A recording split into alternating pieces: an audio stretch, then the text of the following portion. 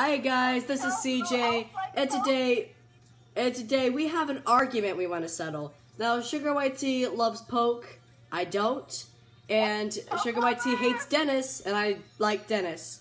I'm sorry the camera's bad, but this is just a quick video. In the top right corner, there's gonna be a poll saying, who do you like better, Poke or Denis? Now put it up, there it is, it's up there.